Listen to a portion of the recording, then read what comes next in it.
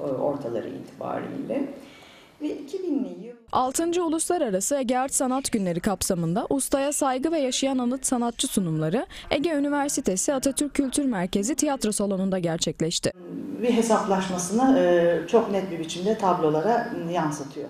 Sunumlar kapsamında Azade Köker, Balkan Naci İslimyeli, Bingül Başarır, Cuma Ocaklı, Halet Enger, İbrahim Balaban ve Özdemir Altan'ın çalışma hayatları hakkında katılımcılara bilgiler verilirken yaptıkları çalışmalar gösterildi. vurgusunda da sürekli Usta sanatçıların hayat hikayeleri ve çalışmaları katılımcılar tarafından ilgiyle takip edilirken en dikkat çeken sunum Hasan Nazım Balaban'ın babası İbrahim Balaban'a anlattığı sunum oldu.